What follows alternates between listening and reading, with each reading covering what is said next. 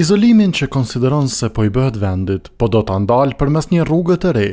E bashkudhëtarë në këtë rrugëtim, kryetari i Lidhjes Demokratike Lumir Abdixhiku të mërkurën paradite pati gazetarë e opinionistë.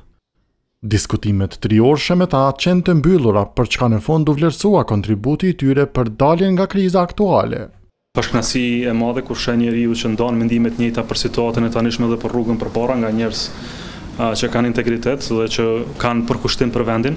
Për neve është shumë me rëndësi këtë fazë që njerëzit ta ndinë që Kosova është e gjithëve dhe Kosova nuk mund të jetë peng i një ideologjie të caktuar. Për Abdixhikun Kosova ka zot që do t'i dalë ballë kryeneçësisë së Albin Kurtit.